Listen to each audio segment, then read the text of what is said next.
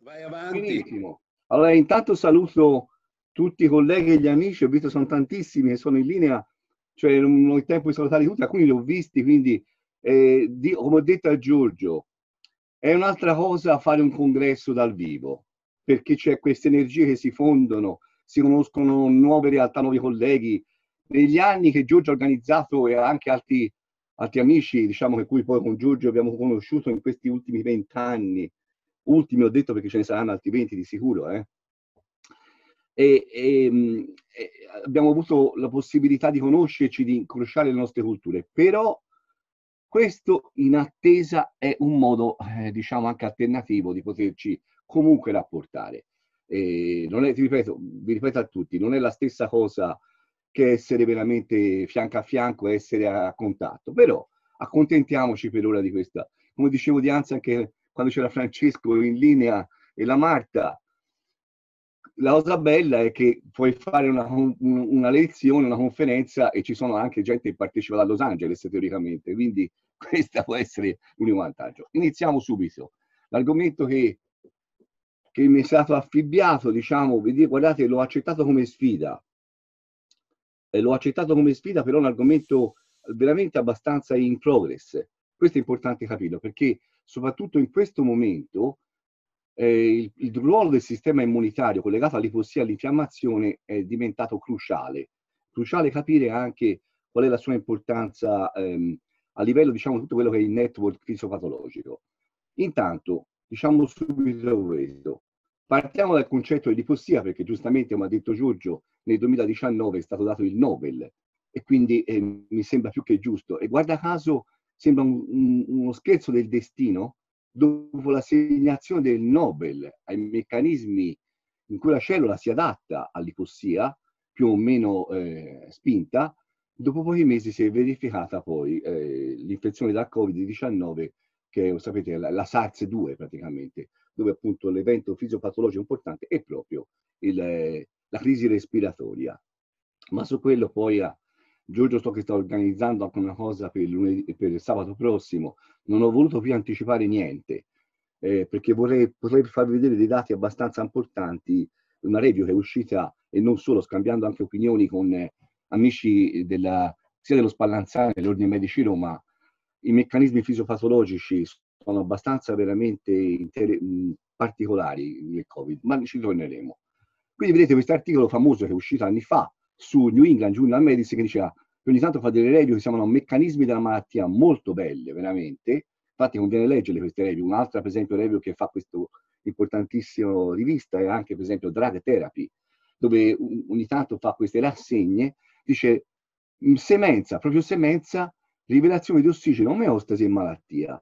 Perché insieme a Ratcliffe e, e, l'altro collega, che poi vedremo anche dopo citati per il Nobel, capirono che eh, le cellule si possono adattare a condizioni di ipossia attivando specifiche vie di segnalazione intracellulare. E fra questi, diciamo, una serie di fattori proprio vengono trascrizionalmente, ehm, diciamo, ehm, prodotti a livello nucleare e sono appunto eh, chiamati una classe HIF, fattori eh, ipof, eh, diciamo di, ehm, indotti dall'ipossia, HIF1, 2 e 3.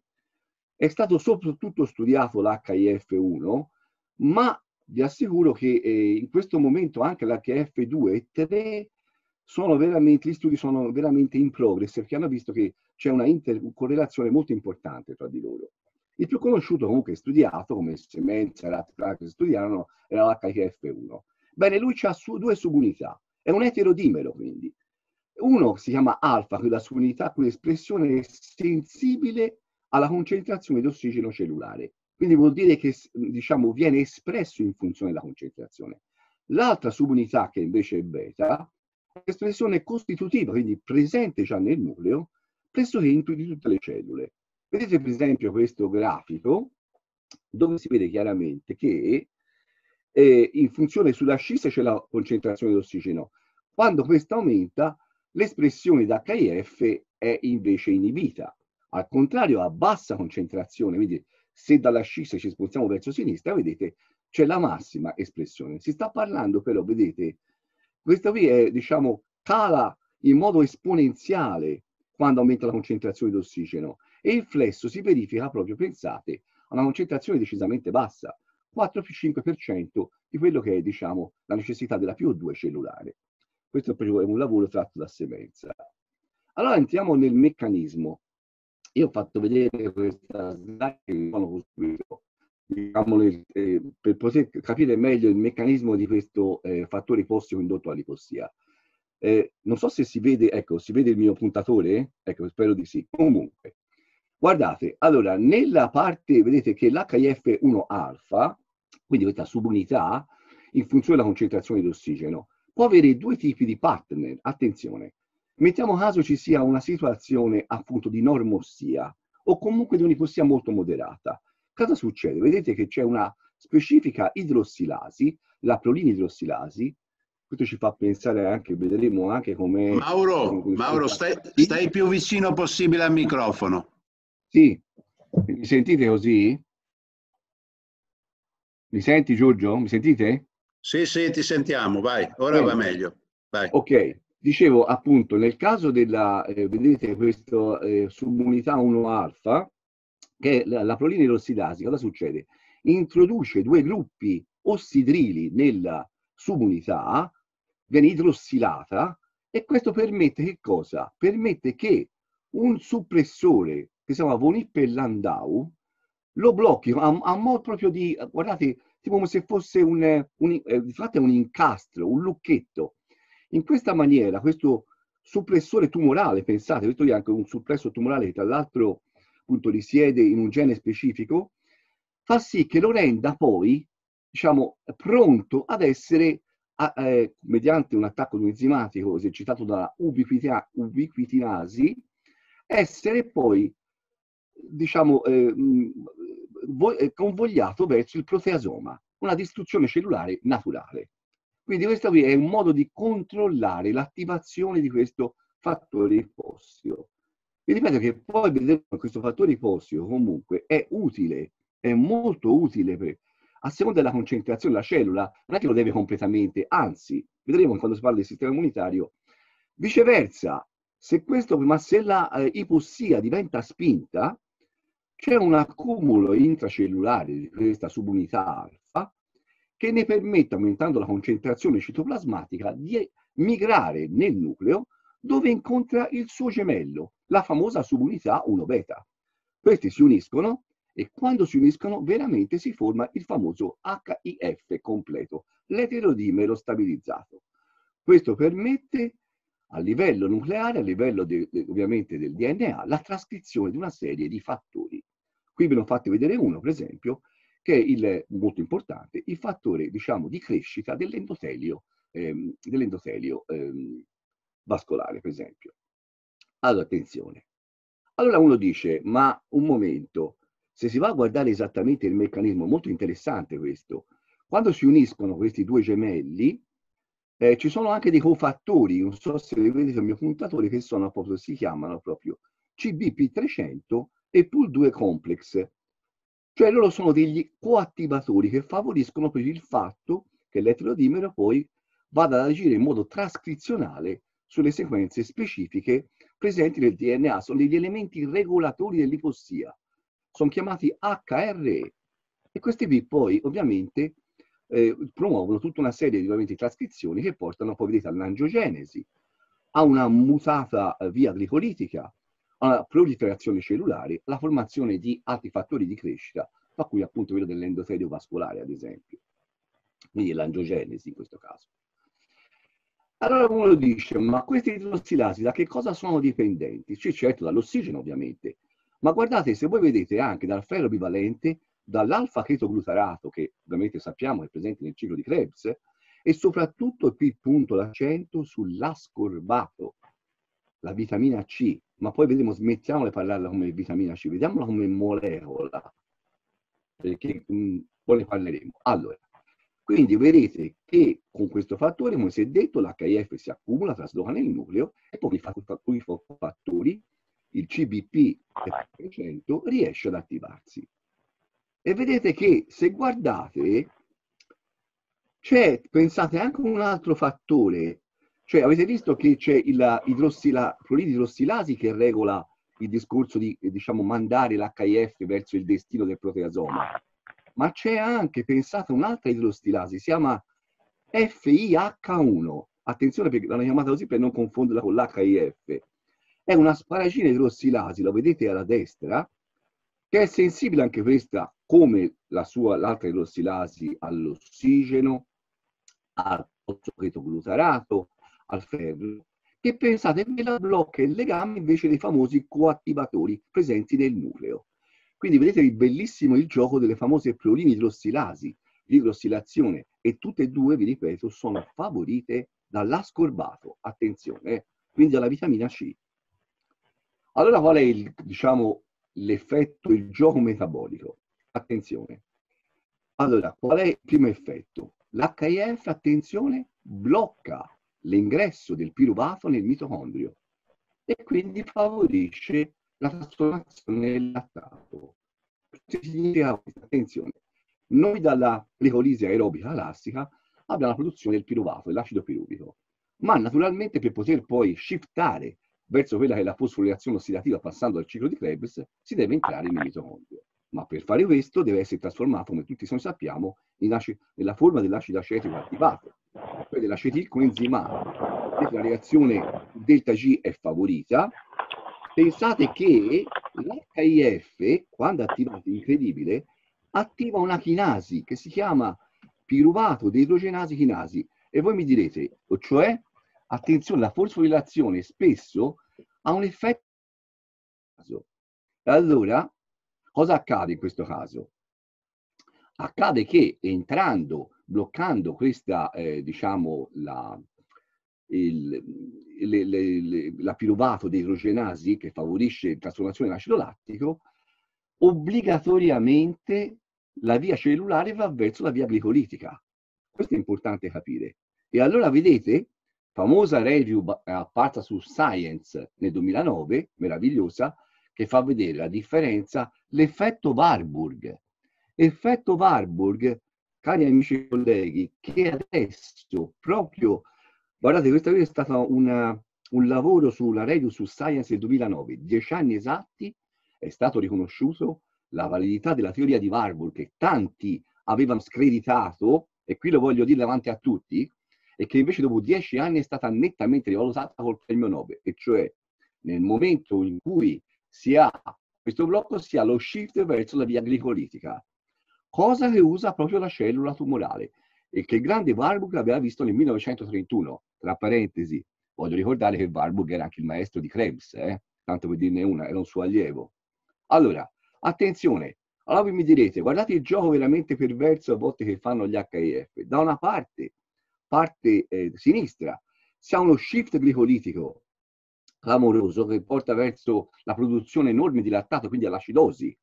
E dalla parte, dall'altra parte vedete che c'è presente proprio, come abbiamo detto poc'anzi, il fatto che la piruvato di idrogenasi venga bloccata dalla specifica chinasi e non si abbia più quindi la fosforil, diciamo, il ciclo di Krebs che porterebbe alla produzione da ATP mediante la catena mitocondriale. Ma allora non solo, ma guardate, l'H, l'altro fratello, attenzione, non il gemello, il gemello era la subunità, questo è il fratello HIF2, gioca sul metabolismo lipidico. Cioè perché uno dice, va bene, tu non mi fai entrare nel mitocondrio, ma io attivo la eh, beta-ossidazione degli acidi grassi. Eh no, perché il suo fratello, l'F2-alfa, mi blocca anche questa, tutta a suo pro. Cioè per, ah, me la blocca per fare invece una biosintesi di nuovi lipidi e contemporaneamente guardate l'altro fratello, quello classico, invece favorisce, pensate, la via dei pentoso-fosfati per produrre per esempio nuovi nucleotidi, che ci fa pensare quindi a una proliferazione cellulare. Allora vedete il ruolo del metabolismo.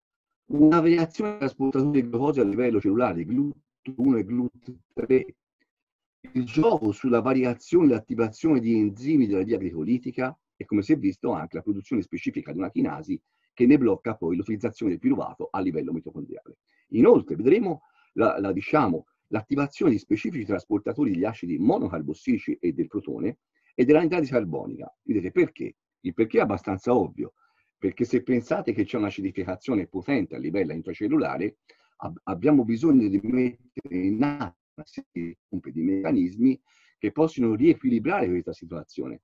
Altrimenti si avrebbe nell'intracellula una situazione di acidosi non compatibile con la vita. Tuttavia, nel microambiente circostante, ciò, la famosa matrice che Dianzi Giorgio citava, l'organo famoso scoperto, quando si venisse fuori questa notizia una, due anni fa, io dissi, beh, hanno scoperto l'acqua calda, perché i giornali, i giornali, no? Dice, scoperto un nuovo organo. Vabbè, cioè ha detto, per voi, tutti noi lo sappiamo da tempo, cioè l'importanza della matrice. Ecco lì, lì si gioca invece il famoso microambiente che poi può creare una situazione di sviluppo tumorale. E allora ecco il premio Nobel. Allora ecco che giustamente i, i Semenza, Radcliffe e Kellin hanno avuto, pensate esattamente a distanza di anni al famoso Radio su Science e quasi cent'anni dopo Warburg, esattamente 90, 90 anni dopo il premio Nobel di Warburg. Quindi questa è una conferma che a me a Giorgio ha fatto veramente, che da anni veramente, cioè quando Giorgio me l'ha comunicato mi sono, guardate colleghi, mi sono veramente commosso. Ho detto, adesso vediamo come verrà applicato però, perché un conto sia teorico, un conto è l'applicazione. Attenzione, era uscito già su New England questa bellissima review, ipossia e infiammazione, due facce della stessa medaglia. E perché? Noi sappiamo tutti una delle citochine più cattive che possono esistere a livello infiammatorio fisiopatologico la sua implicazione nelle malattie croniche è veramente micidiale, guardate, cioè non è qui il momento di parlarne, ma molti di voi, penso quasi tutti, conosciate a livello più o meno profondo. E allora attenzione gioco, questa è una review che era uscita poco prima proprio, pochissimi anni fa, 3-4 anni fa, sempre sul famoso New England, che, vedere, che fa vedere proprio cosa accade. Attenzione, guardate, sulla parte sinistra, qui è preso una cellula, poi vedremo che è il macrofago in modo specifico. Sulla parte sinistra abbiamo il meccanismo che abbiamo appena descritto che riguarda l'attivazione del fattore ipossio. Vedete le famose due subunità che traslocano nel nucleo, ma sapete cosa succede? Cosa che non vi ho detto. Aspettavo un po' la ciliegina sulla torta. Ovvero, quando traslocano nel nucleo, attivano una serie di fattori trascrizionali, tra i quali pensate sotto proprio il nuclear factor KB. Quindi ipossia produce, favorisce la trascrizione di quello che è forse il maggiore, maggiore citochina, il maggior fattore trascrizionale eh, potente nel, nel, processo infiammatorio. Avvicinati bene, Ma, Mauro, avvicinati bene al computer, eh, se no non si sente. Ok. Dall'altra parte invece, ora mi senti Giorgio? Sentite? Allora, dall'altra parte invece, attenzione, dall'altra parte abbiamo che questo nuclear factor KB generalmente, che è fatto da due subunità, è bloccato da un inibitore, l'IKK. Attenzione però, questo inibitore, questo lucchetto che lo blocca, che cosa accade? Ci può essere in, in una situazione invece importante. L'HIF, pensate, è, è, dunque sblocca in pratica, fa sì che una un subunità polipeptidica sblocchi questo inibitore, praticamente inibisce l'inibizione. Pensate, l'HIF va a inibire l'inibitore del nuclear factor KB, che anche lui è costituito da due subunità, la P50 e la P65. Allora lui dice, se tu mi sblocchi, se io mi sento sbloccano più il lucchetto, trasmigro nel nucleo e faccio una mia bella azione, vedete la famosa subunità che, che passa nel nucleo.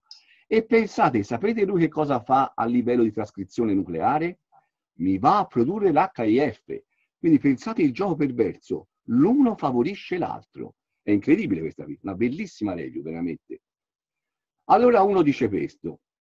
Andiamo a vedere adesso più nello specifico il discorso immunitario. Quindi ipossia, infiammazione, immunità.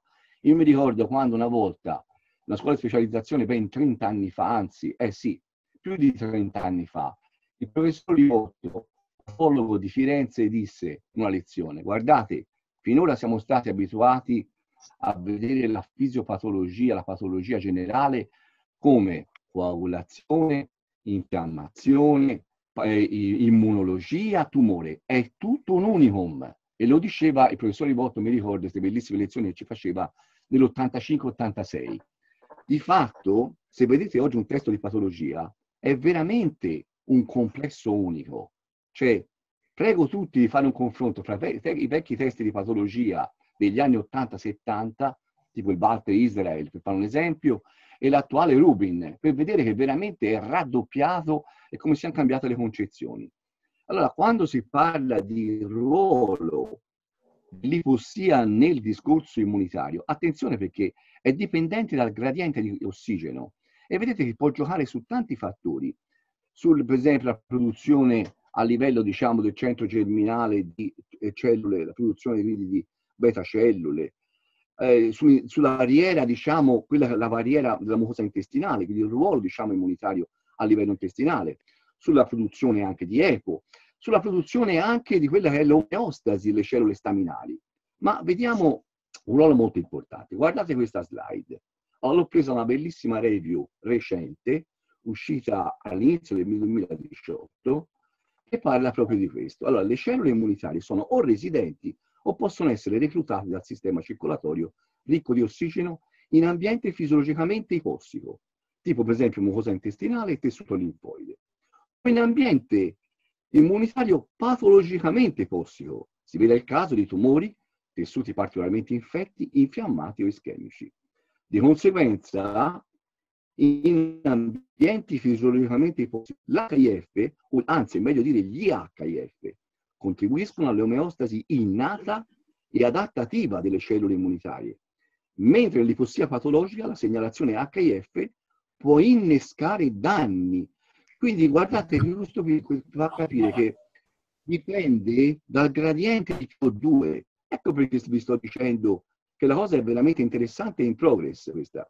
Allora, in pratica, l'ipossia ha un impatto, veramente un impatto importante quindi nella via di segnalazione dell'HIF sul destino e sulla funzione delle cellule immunitarie, inclusa la sovraregolazione dell'espressione genica glicolitica dopo l'attivazione di diverse cellule immunitarie.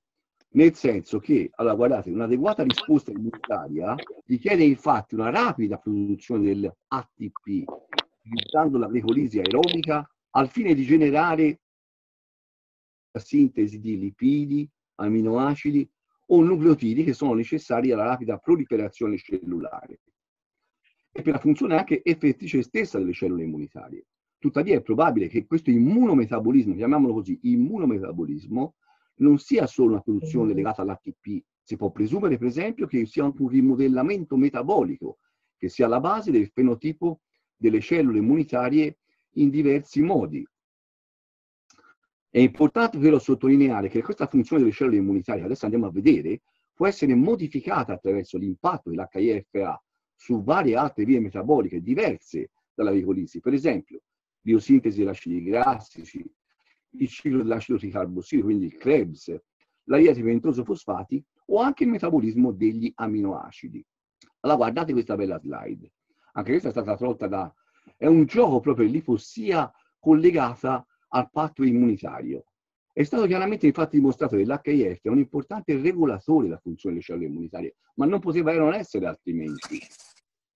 Questo collegamento tra ipossia e immunità, infiammazione, visto adesso, è ampiamente mediato da cambiamenti che sono HIF dipendenti nel metabolismo delle cellule immunitarie. Di conseguenza il cambiamento della funzione effettrice delle cellule immunitarie stesse. Pertanto, diciamo che l'HIF riproduce un ruolo importante come un perno fra immunità alterata e il metabolismo cellulare e la funzione effettrice ed è una chiave eh, regolatrice proprio dell'immunità e l'infiammazione. Quindi l'HF si pone fra infiammazione e, eh, e diciamo, funzione effettrice del sistema immunitario. L'impatto dell'HF sulla funzione effettrice, questo è importante, guardate, varia a seconda del grado di ipossia uno, questo è importantissimo, è il tipo di cellula immunitaria che è coinvolta.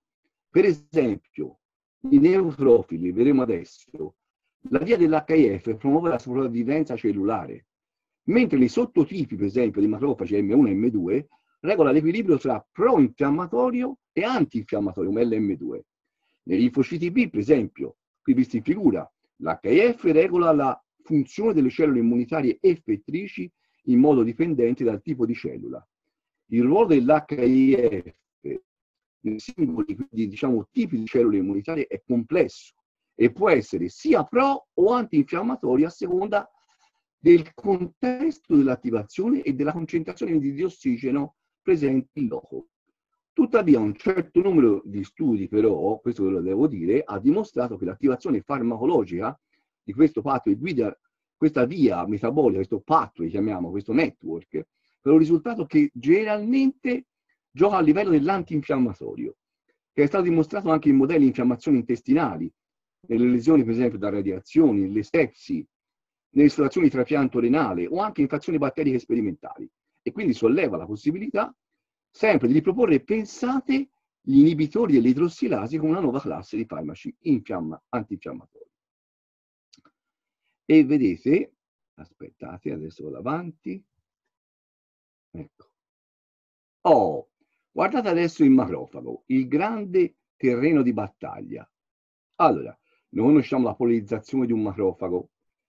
Sono, delle, sono delle cellule veramente, sapete, l'immunità innata importantissime, mononucleate, trasformazione dai monociti circolanti, che può essere suddivisa in M1 classici, vedete la parte sinistra, M2 regolatori. Sono attivati classicamente eh, gli M1, per esempio, svolgono un ruolo importante nella prima linea di difesa contro le infezioni batteriche, producono grandi quantità, per esempio, di ossido nitrico, quella che è la famosa nitrossosintetasi inducibile, non quella endoteliale, è già diverso, eh? attenzione. Al contrario, per esempio, l'attivazione del fenotipo di tipo M2 alternativo ha un ruolo importante nella guarigione delle ferite, riparazione dei tessuti, risoluzione dell'infiammazione. Vedete che sono attivati, nel secondo caso, per esempio, nel caso di quella alternativa attivata dall'interleuchina 4, la 13, nell'altro caso, per esempio, giustamente, da situazioni di citochine tipo l'interferone eh, gamma o le, anche molecole, per esempio, per esempio, nella cellula batterica, la membrana tipo il lipopolisaccaride. Quindi importante è che in un processo infiammatorio ci sia poi la riconversione dell'M1 verso l'M2 affinché ci sia una risoluzione adeguata all'infiammazione o per esempio una guarigione anche delle ferite. Vedete infatti questa slide che vi ho messa apposta, tanto poi penso che Giorgio ve le passa, che ve le passerò io, dove c'è proprio la differenziazione del monocito in questi due tipi che è più dettagliata affinché si possa vedere diciamo, non solo diciamo, tutte quelle che sono le citochine e i fattori che attivano una o l'altra eh, diciamo, via di polarizzazione del, mon- del macrofago trasformato dal monocita, ma anche le funzioni. Vedete che fondamentalmente il, il, il fenotipo M1 ha un'azione pro-infiammatoria anche battericida certamente e fagocitaria importante. Viceversa l'M2 ha antinfiammatorio, vedete la produzione anche di diciamo, fattori genici per la risoluzione, per esempio, delle ferite, almeno quando siamo in situazione fisiologica, e una situazione anche, vedete, anche di guarigione totale della risoluzione infiammatoria. Allora attenzione, vedete come, cosa succede nell'ipossia? Voi mi direte, che vuol dire questa freccia verde e freccia rossa? In presenza di HIF adeguato, assenza cioè come se ci fosse poi una non produzione totale. Allora. Nel primo caso, giustamente, quando si attiva un meccanismo di corsia, chiamiamola adeguata fisiologica, si ha una polarizzazione dell'M1 perché deve essere esposta. Dito adesso sento che parla della cellula. Sì, silenziate i microfoni per piacere. Eh, e poi appunto quelle che possono essere le funzioni protumorali un aumento della glicolisi, la fagocitosi e un'azione che è fondamentalmente pro-infiammatoria, con l'espressione clinica. Al contrario, quando c'è invece un'assenza totale, vedete che tutto riguarda una produzione, ma questo significa proprio che non viene assolutamente riprodotto l'HIF, ma che si vada verso una ipossia molto molto spinta. In questo caso vedete che le funzioni sono decisamente, eh, eh, le funzioni del macrofago sono decisamente ovviamente cambiate e vanno verso ovviamente una non, anzi a tutt'altro una funzione eh, effettrice valida per il macrofago. che è quella... Fun- Attenzione, allora ritorno a questa. Il macrofago, quando prima avevo fatto vedere il famoso network, due facce della stessa medaglia, infiammazione, ipossia, eccolo qui, vi faccio vedere, vedete, è proprio il macrofago il modello cellulare di riferimento dove avviene quel discorso che vi dicevo, in cui c'è lo, lo sgancio, praticamente lo sblocco del lucchetto da parte, diciamo, del, del nuclear factor KB, vedete, che danno una mano, si danno una mano con l'HIF. Avete visto prima la famosa review che vi ho fatto vedere estratta, la, la figura estratta dalla, dal New England. Vedete quindi l'attivazione nuclear factor proprio nel macrofago, direttamente attiva l'HIF che a sua volta lui attiva il, il, il, l'NAFK, sbloccandolo dal suo inibitore. Allora guardate, prendiamo l'immunità innata. I neutrofili sono granulociti, sapete tutti, di breve durata. Sono i primi leucociti a migrare nel sangue circolante verso i siti feriti o infetti. E loro hanno un ruolo cruciale, quello di uccidere i patogeni attraverso il rilascio di granuli antimicrobici, attivando anche citochine come il tumore fatto, l'interlochina 1, gli interferoni, le defensine e soprattutto i ROS, le specie reattive dell'ossigeno. I neutrofili rimuovono i detriti cellulari, sappiamo, e sono in grado di generare anche trappole extracellulari degradari per i fattori di virulenza e uccidere i batteri. E vedete che in questo caso i risultati sperimentali hanno dimostrato l'importanza di una via di segnalazione specifica HIF funzionale nei neutrofili, che ne favorisce la riprogrammazione metabolica e la funzione. Ma tutto questo, attenzione, è funzione della concentrazione di ossigeno. Studi sono in atto per capire esattamente l'immunometabolismo. Infatti, anche qui, nel caso ci sia un HIF completamente abolito, il che significa completamente quindi bloccato per formare per esempio un'ipossia molto spinta, tutte quelle funzioni che vediamo, per esempio, c'è um, la formazione da ATP, come si è visto prima, anche la migrazione, l'invasione, l'aggregazione, la motilità dei neutrofili è completamente inibita. Quindi guardate come l'ipossia, se è fisiologica, è una cosa, se è patologica è un'altra. Vedete anche quest'altra slide.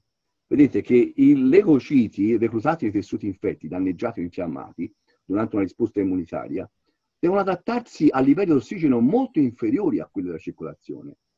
I famosi HIF quindi sono i mediatori chiave di questa risposta all'ipossia, si è visto, e sono eh, fondamentali per la sovraregolazione della glicolisi, consentono alle cellule immunitarie di produrre l'ATP in modo anaerobico.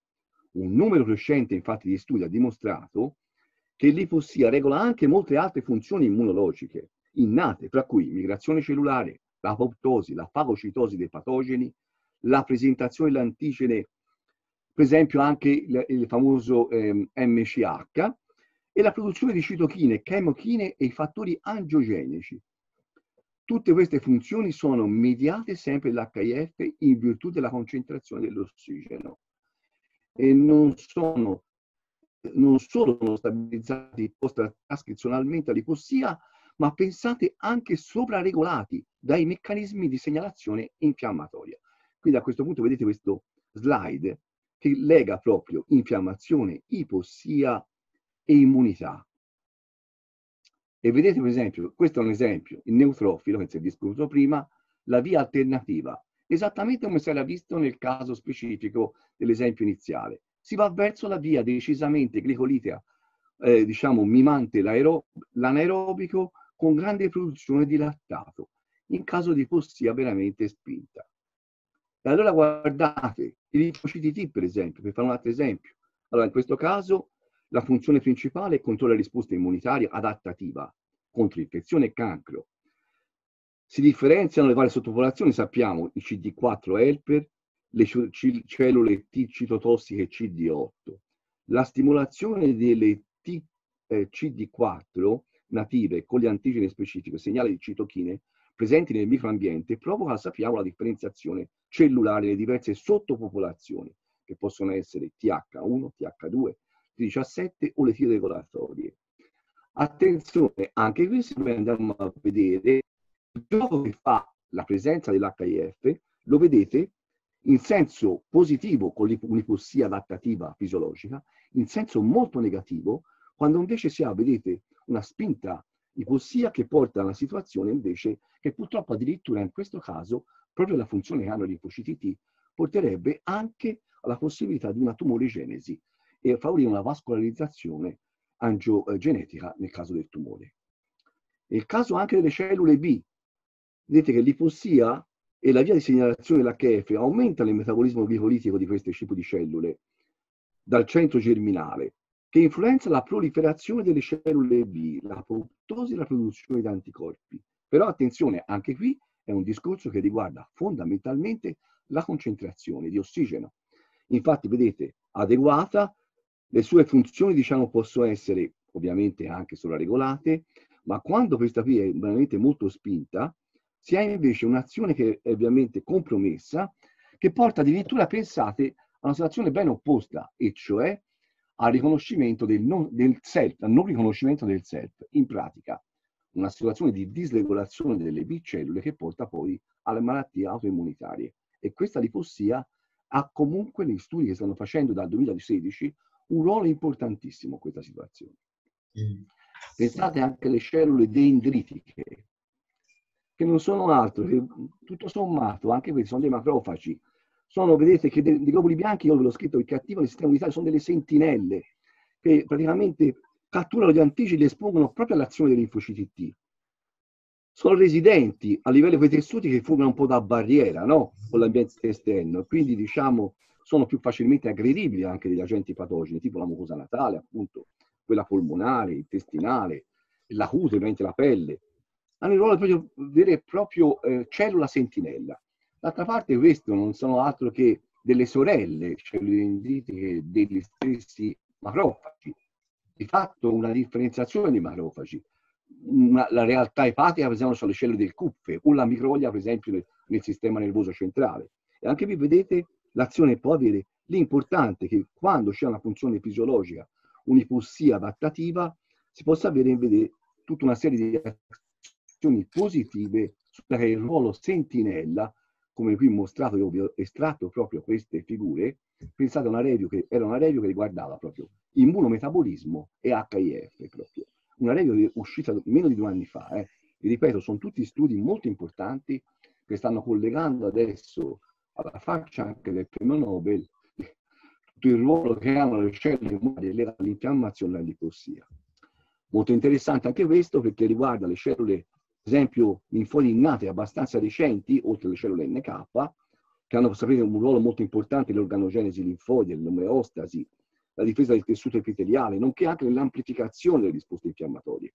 Ed è stato proprio scoperto che l'ipossia tumorale, per esempio, molto spinta, ha eh, causato proprio la riduzione del potenziale citotossico di questi tipi di cellule, in particolare con conseguente riduzione ovviamente della risposta tumorale che permesso la formazione di metastasi negli organi secondari. Allora guardate questa bellissima tratta sempre da un New England, influenza e lipossia nei sistemi immunitari innati e adattativi, un po' una specie di assunto. Vedete, nell'esempio mostrato, in questa figura, che è proprio estratto, l'epitelio a sinistra viene violato dall'invasione di agenti patogeni, causando quindi danni ai tessuti come risultato di cellule eh, come risultato finale, diciamo. Poi le cellule immunitarie innate montano una risposta di difesa all'ospite che viene poi amplificata dalle cellule immunitarie adattative reclutate. In generale però possiamo dire questo, ossia amplifica l'attività di quelle immunitarie, le cellule immunitarie innate e sopprime quelle del sistema immunitario adattativo. In pratica significa promuovendo la differenziazione delle cellule regolatorie, la regolazione negativa della funzione delle cellule T CD4 ELP e delle cellule T citotossiche CD8. E ovviamente questo in difesa dell'ospite che potrebbe altrimenti portare a danni ai tessuti collaterali. Quindi vedete questa situazione diciamo di differenziazione già che un'ipossia fisiologica esercita sull'immunità di tipo innato e adattativo. Guardate anche questa, il ruolo dell'ipossia nell'infiammazione, che riguarda sempre le cellule. L'aumento del consumo di ossigeno, diminuzione dell'offerta, determina questa ipossia tissutale nei siti cronicamente infiammati. L'ipossia determina l'aumento dell'attività dell'HIF nelle reti immunitarie proprio residenti e reclutate che altera la funzione delle cellule immunitarie e di conseguenza ne influenza anche l'attività infiammatoria.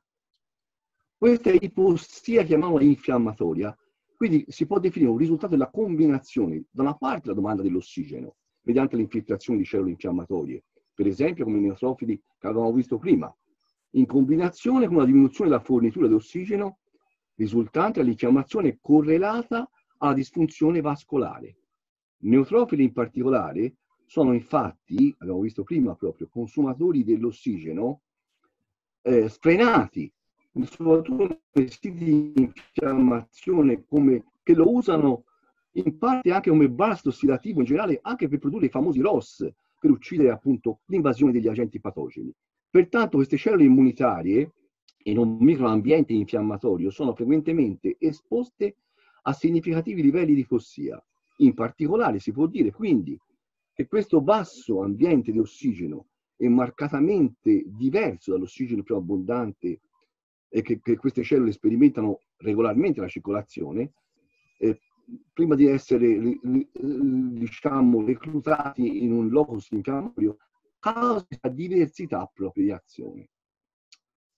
E vedete che in questa, scusate, ecco, questa è una slide veramente particolare che tra l'altro sarebbe adatta anche al momento, eh?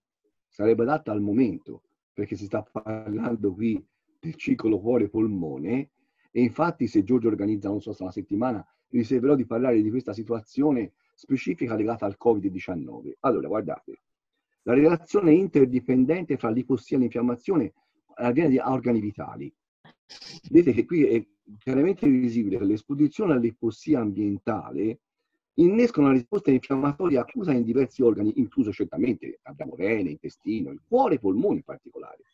L'infiammazione indotta dall'ipossia può manifestarsi, vedete, con una maggiore perdita, guardate poi a sinistra, vascolare, con accumulo di cellule infiammatorie negli organi tipo ipossico e con il rilascio di mediatori veramente importanti. Vedete qui per esempio il tumore cosifatto, l'interleuchina 6, l'interleuchina 8 anche. Allo stesso tempo, come si guarda per esempio in questo caso specifico il danno polmonare acuto, l'infiammazione associata a un'ipossia tissutale causata aumenti drammatici, veramente drammatici della richiesta di metaboliti di ossigeno da parte di cellule residenti. Per esempio gli endoteli polmonari e vascolari, e reclutati infiamma- e quindi reclutano cellule infiammatorie, per esempio i neutrofili, abbiamo visto, tanto bisogno di una esercitare l'azione killing proprio.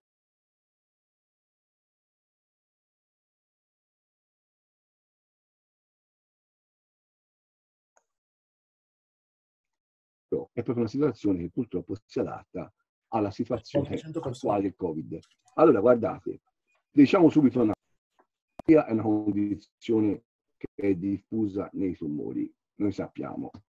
Molti tumori hanno una PO2 veramente bassa e la capacità di dottarsi all'ipossia è essenziale per la crescita tumorale. L'HIF correla molto bene con la vascolarità tumorale, tant'è vero che l'espressione dell'HIF... Mauro, Mauro, sì? Sì? Non si sente bene, devi avvicinarti di più. Allora mi avvicino. Allora diciamo che, ora mi senti? Ora sì. Allora l'espressione dell'HIF vedete, è positivamente correlata alla vascolarità tumorale. Vedete che è dipendente. Guardate la pressione parziale dell'ossigeno. Bravo. Dell'ossigeno, ma guardate quando è che si sviluppa il fattore di crescita vascolare. Proprio quando siamo sotto, il famoso flesso l'avevamo visto, sotto il, un millimetro di mercurio a livello intracellulare significa che siamo in una situazione di ipossia molto, molto avanzata, una situazione importantissima che favorisce un'angiogenesi, una situazione che favorisce un microambiente tumorale importante. E vedete proprio il microambiente tumorale. I meccanismi che portano a un pH basso, perché è correlato, si è visto, all'acidosi per lo shift metabolico del, dell'effetto Warburg, il TME, TMS vuol dire microambiente tumorale, eh, come sigla. Il basso apporto di ossigeno e l'attivazione degli oncogeni aumentano la glicolisi, provocando a sua volta l'espressione dell'HIF. E tutti questi percorsi portano all'accumulo di protoni e questo si era visto, l'acidificazione, sì, c'erano delle pompe che regolavano intracellulare, ma extracellulare, nella matrice l'acidificazione del microambiente. Allo stesso tempo l'HIF promuove l'attivazione di i geni, come visto, inclusi quelli che codificano la regolazione del pH e contribuiscono all'ulteriore acidificazione del microambiente esterno.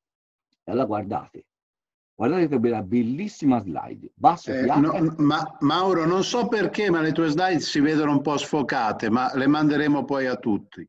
No, questa è un po' sfocata perché... Ah, ok, ok, ok, va bene. Ma solo dai. questa però, solo questa, vero? Dai, dai. Poi le altre le mandiamo, dai. Poi sì, mi sì. mandi il file a me e io lo mando a tutti. Certo. Allora, un basso pH del microambiente tumorale funge da scudo di protezione globale per le cellule tumorali. Infatti, vedete, guardate questa bellissima slide.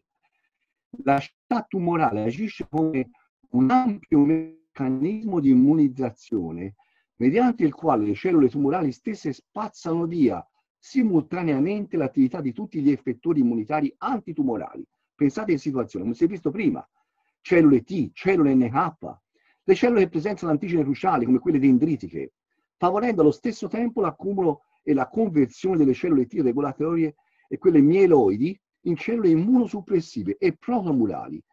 Il H+, il protone e il lattato, eh, potenziati da comuni fattori trainanti rappresentati dall'ipossia, dalle vie dismetaboliche, creano ulteriormente un ambiente ostile per le cellule mentre le cellule e le regolatorie possono sopravvivere grazie a una riprogrammazione metabolica specifica. È un'espressione sulle membrane delle cellule, diciamo l'espressione di regolatori del pH. Quindi pensate quanto il basso pH unito all'ipossia generi questa specie di network negativo con diciamo, il gioco sulle cellule immunitarie. Allora arriviamo un po' al dunque. Allora, modulatori dell'ossigeno. Qui siamo certamente, non perché Giorgio l'abbia creato questo evento, perché io ci credo, ci crediamo, se no non saremmo qui quasi 300, nel senso, sono anni che ci crediamo. A maggior ragione alla faccia del premio Nobel dato... 403 iscritti, Mauro. Eh, 400, complimenti, complimenti a tutti i colleghi, complimenti anche perché è bello eh, spendere tempo, eh, diciamo, eh, utilizzare il tempo per poterci anche confrontare con questi bellissimi incontri. Allora guardate, gli studi che hanno fatto, vedete, sapete qual è una delle cose più importanti di studi? Una riduzione significativa dell'espressione del fattore ipossico attivato, cioè non di quello alfa, ma di quello proprio reale, combinato. E lo studio che aveva fatto la Ferrero e che Giorgio ha citato più volte, sapete la cosa che mi impressionò? Domandai a Giorgio, ma la Ferrero, Mariella, l'ha fatto? Sì, certo l'ha fatto lo studio. Eccolo là, guardate. Fra i vari, diciamo, step dello studio meraviglioso che aveva fatto e pubblicato su Journal Physiology and Pharmacology, guardate cosa c'è scritto. Al centro il, eh, attenzione, la risposta alle cellule endoteliali mediata all'ipossia e dal CF sta per cell food, per detrosulfazime, cosa fa? Regola, attenzione, la subunità H1 alfa, oltre a upregolare la superossio-dismutasi manganese dipendente. In pratica, questo è veramente importante, quindi si dimostra l'azione specifica del prodotto sulla regolazione dei fattori che regolano l'ipossia. Tant'è vero che, guardate, fra le conclusioni, io ho voluto tagliare questo. Guardate sotto, esperimenti preliminari, poi confermati dal, dalle Regina Elena, hanno evidenziato risultati interessanti l'effetto della sostanza sulle cellule circolanti, i linfociti proprio. La, quando fecero lo studio sulla Regina Elena, al laboratorio di oncologia, perché è importante? Giorgio ce l'ha fatto vedere tante volte, io stesso ma guardate bene, uno studio fatto sulle varie linee cellulari, leucemiche e sui tumori solidi. Bellissimo studio che è visibile dalla pubblicazione ovviamente che sono state fatte, quindi basta richiedere a Giorgio o anche scaricarlo direttamente sul, sul PubMed. Guardate cosa importante, eh, c'è proliferazione cellulare, apoptosi, HIF1 alfa per confermare i dati della Ferrero, ma senza saperli, attenzione, indipendenti, metabolismo cellulare, quindi quella espressione dei famosi recettori modificati dall'effetto Warburg, LDH e lattato. Ed ecco i risultati. Guardate la dose dipendenza, cioè nelle cellule, cioè nel senso nelle cellule, la suscettibilità all'apoptosi legata alla riduzione del fattore tossico, è proprio stata studiata specificamente il controllo e queste sono le cellule in confronto sia tumorali che delle linee leucemiche. Guardate questa, nella cellula tumorale, cos'è importante? Si riprende il partner verso, il partner verso la eh, funzione mitocondriale, verso il Krebs. Quindi lo shift si riporta indietro lo shift glicolitico per andare allo shift ossidativo classico che implica il ciclo di Krebs e poi la, la susseguente fosforilazione ossidativa. E tanto è vero che questo è dimostrato, intanto vedete da quella che è l'espressione del ricettore GLUT1, anche dell'esochinasi che è stata vista, che ovviamente cambiava il metabolismo glicolitico nella cellula tumorale. E il secondo, vedete, proprio perché c'è una riduzione netta della, della produzione di lattato e con la riconversione in piruvato. E questo favorisce ovviamente il famoso, diciamo, la riconversione alla corretta metabolizzazione ossidativa. Quindi le conclusioni dicevano questo. I risultati evidenziano una perturbazione della via glicolitica citoplasmatica a favore di quella classica mitocondriale, rendendo la cellula tumorale suscettibile quindi all'apoptosi, cosa che prima non lo era e addirittura l'HIF2, come si era visto, ne favoriva insieme al suo fratello anche la perfetta eh, eh, diciamo, sincronizzazione. E quindi questo è importante, poter dare questo prodotto per riconvertire, diciamo, per rishiftare la via licolitica. Attenzione, voglio concludere con questo argomento perché mi sta a cuore e perché credo a Giorgio di fargli un grosso piacere, ma, ma non per un piacere da amico, ma a tutti voi. Tutti ci chiedono vitamine e sistema immunitario. Se ne dette di cotte e di crude in questi giorni col Covid, anche in maniera non sempre corretta. Attenzione, intanto, che sono quelle fondamentali? Allora, per il funzionamento dei, dei linfociti di tipo TH1 helper, la B12, la A, la E e la C, i TH2, la vitamina D. Guardate, la vitamina B12, ricerche giapponesi hanno messo in evidenza un importante ruolo nella regolazione del sistema immunitario, in particolare una riduzione del CD8 e l'attività del, delle NK negli stessi soggetti. Pensate, questi soggetti avevano un deficit di B12 dovuto a un'anemia perniciosa e si è evidenziata questa. Quindi una riduzione della capacità, diciamo, citotossica CD8 e l'attività dell'NK. Gli stessi soggetti, quando gli stata somministrata la B12 adeguata, hanno evidenziato un netto aumento della capacità citotossica da parte appunto del, CD8 dell'NK. La vitamina A, il deficit di vitamina A, oltre al problema visivo, guardate che è molto importante per la vulnerabilità alle infezioni, specialmente virali. Sono stati documentati casi di morbillo, per esempio, particolarmente severo, in presenza di deficit di vitamina A, che invece vengano ben controllati somministrando dosi adeguati di questa vitamina.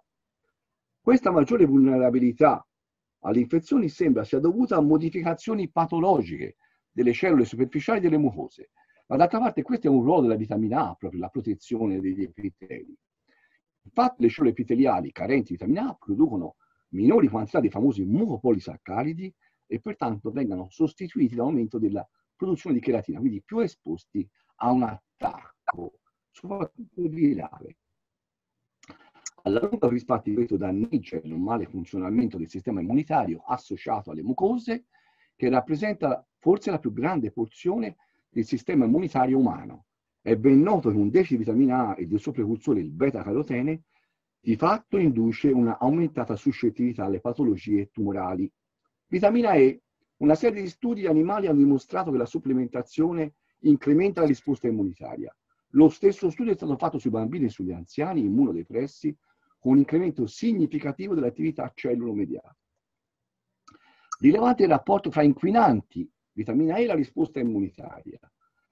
Studi sugli animali hanno dimostrato che la vitamina E viene richiamata nei polmoni a protezione dei tessuti attaccati agli inquinati atmosferici. Gli effetti sul sistema immunitario sono di riduzione della capacità battericida, specie nei macrofagi residenti, guarda caso, negli alveoli polmonari. Studi fatti in America hanno dimostrato che oltre il 40%, pensate, della popolazione americana, non, ma gli americani su questo qui non ci devono segnare niente. Purtroppo sono spesso, spesso esempio di, per il loro anche, eh, diciamo, introito dietetico, un esempio negativo.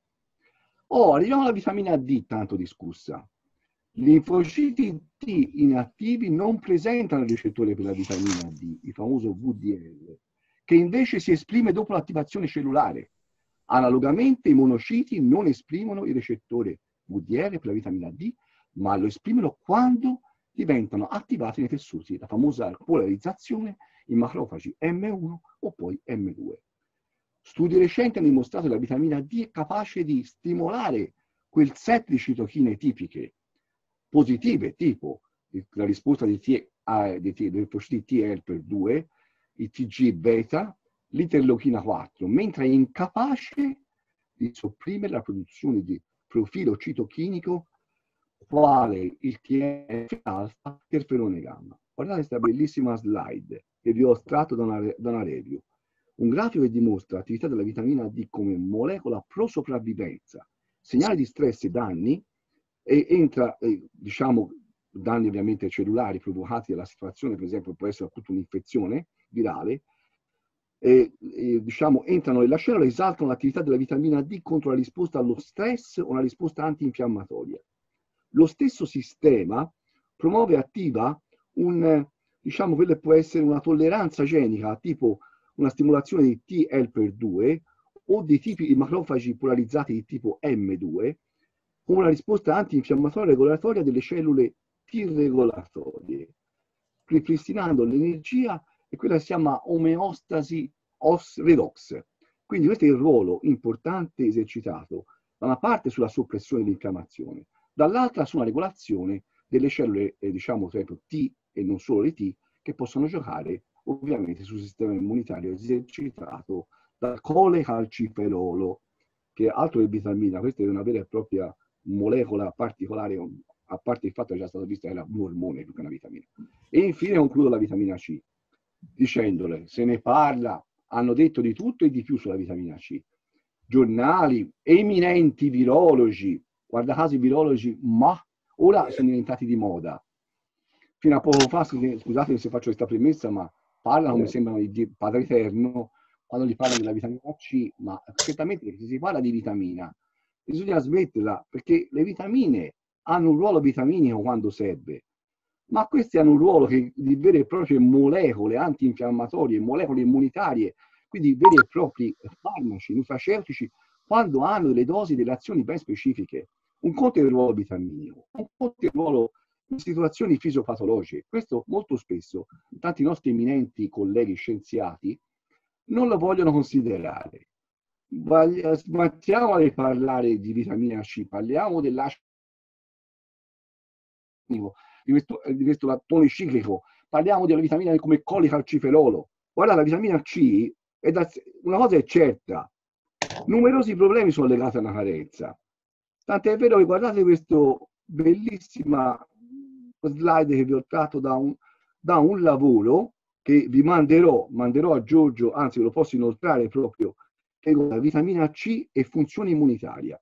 Contribuisce alla difesa immunitaria sostenendo varie funzioni, sia innate che adattative. Supporta l'epitelio di barriera contro i patogeni, favorisce l'assorbimento dell'ossidante tantissime, per esempio accumula, si accumula le cellule fagocitarie come i neutrofili, migliora la chemiotassi, la fagocitosi, la generazione dei ROS, l'uccisione microbica. Sui linfociti forse il ruolo è un po' meno chiaro, ma è stato dimostrato per esempio che migliorano la differenziazione e la proliferazione. Mario, eh, sì, ma, ma, Mauro, c'hai qua, c'hai ormai, sono le 10.20, eh? Sì, sì, ho 5 minuti e finisco. Ok. Ho quasi finito. C'ho proprio le ultime tre slide. Grande. E probabilmente anche i suoi effetti sulla regolazione di tipo genico. Quindi guardate, Mm, la carenza, qui sono tutta una serie, avete visto, di azioni importantissime la vitamina C esercita. Quindi guardate che va considerata veramente, allora, attenzione però, un po' è usarla in situazioni acute, come è successo anche nei casi di Covid, in cui saputo è stata somministrata endovenosa anche, e lì diventa un farmaco. Non è nemmeno un nutraceutico, diventa un vero e proprio farmaco. Vi ricordo l'assorbimento è, qui è cruciale. Che uno dice, quante ne dai? Ma vi ricordo che il trasporto è molto eh, legato a una serie di trasportatori epiteliali nella mucosa intestinale che sono solio-dipendenti. Tanto non ne passa, vedete questa slide. Cioè, se voi somministrate 1000 milligrammi, è grassa se ne passano 250 milligrammi. Cioè, al massimo, generalmente, si passano fra i 180 e i 250 mg. E allora qual è il modo giusto? Guardate, io ripeto sempre questo, la biodisponibilità. È inutile stare a farsi discorsi. Cioè, gioca tantissimo la capacità di un nutriente o di una sostanza, di un farmaco, di un nutraceutico, di un fitoterapico da arrivare nei siti di azione cellulare.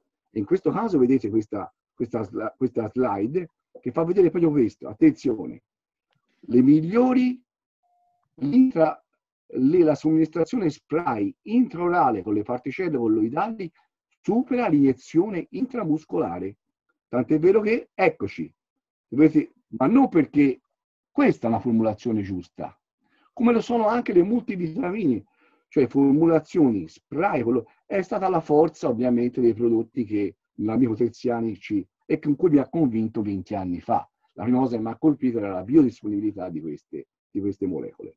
Quindi concludo dicendo questo, guardate, allora, importante capire i ruoli possibili del sistema immunitario, come ripristinare il gioco, un'ipossia fisiologica affinché il sistema immunitario possa agire in maniera adeguata, come anche somministrare in modo adeguato affinché arrivino nei siti cellulari vitamine, chiamo vitamine, sostanze che hanno anche un'azione vitaminica, ma che possono esercitare un'azione ben tutt'altro antinfiammatoria di sostegno immunitario quando somministrate a dosi adeguate, quale appunto l'acido ascorbico, il colicalciferolo e i caroteni e anche l'acido folico, poi vedremo anche non è questo, pure, come pure la B12.